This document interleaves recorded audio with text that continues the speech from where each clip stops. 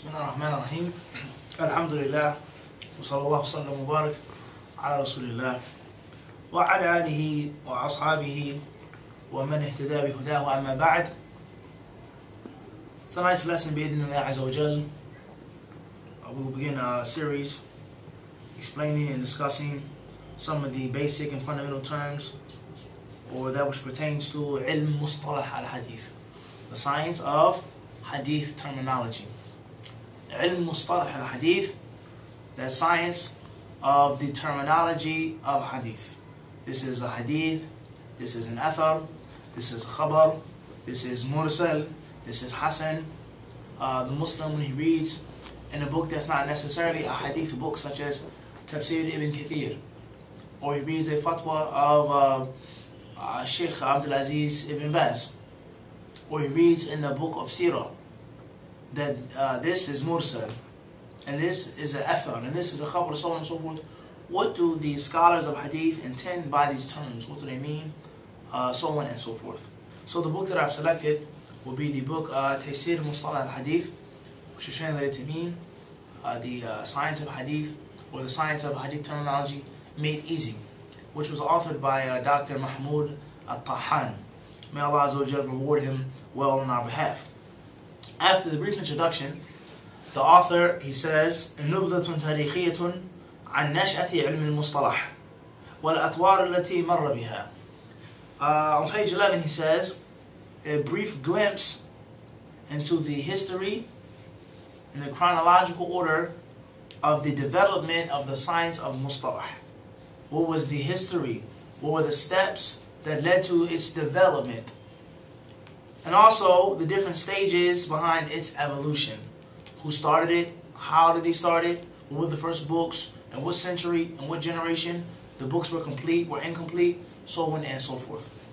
The author, he says, يلاحظ الباحث المتفحص أن الأسس والأركان الأساسية لعلم الرواية ونقل الأخبار موجودة في الكتاب العزيز والسنة والسنة النبوية.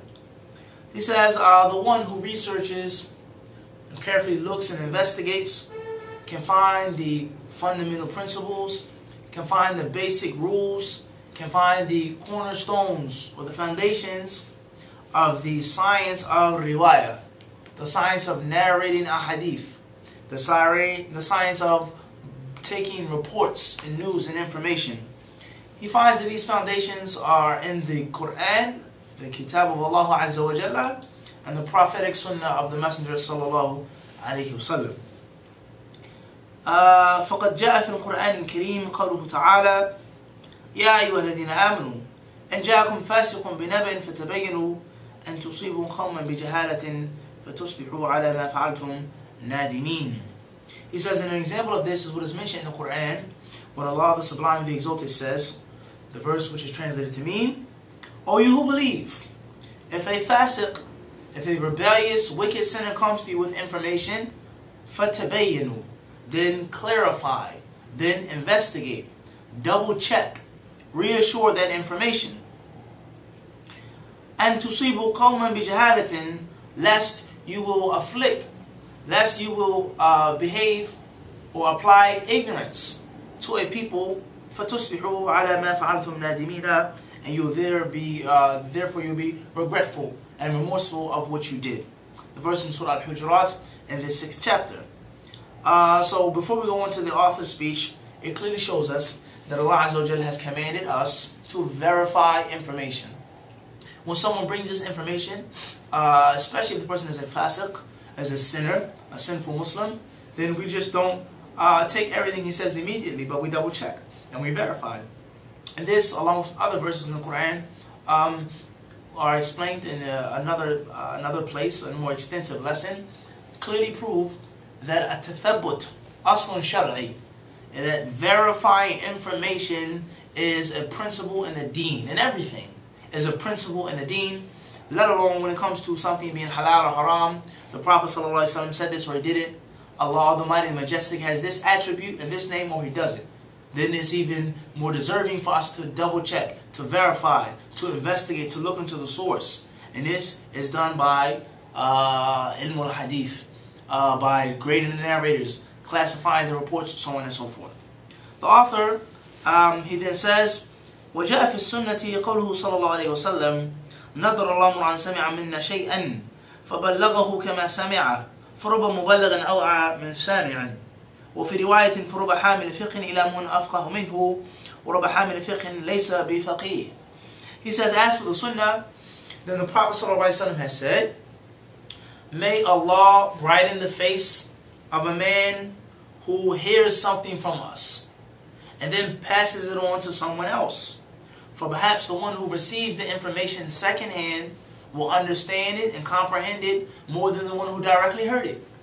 And perhaps uh, a person who has fiqh, who bears fiqh, will go to someone who has even more fiqh than him, has more understanding and comprehension than he does. And it says in another version of the hadith, the author says, and perhaps one who bears fiqh, one who carries fiqh, who busies himself and attributes himself to fiqh, has no fiqh whatsoever. He has no fiqh whatsoever.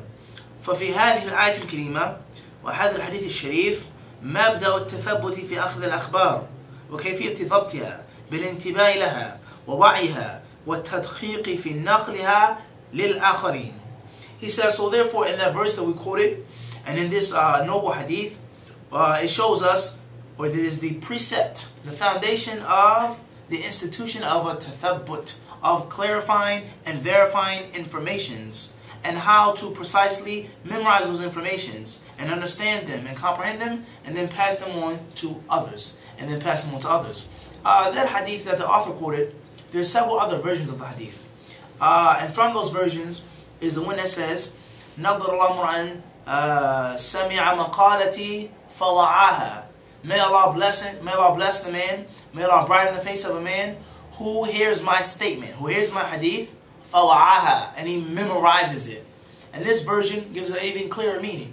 That he hears it, when he makes wa'i, he totally grabs that statement. He takes that hadith, he sucks it up, and he understands it. ثُمَّ أَدَّاهَا كَمَا سَمِعَهَا And then he passes it on just as he heard it.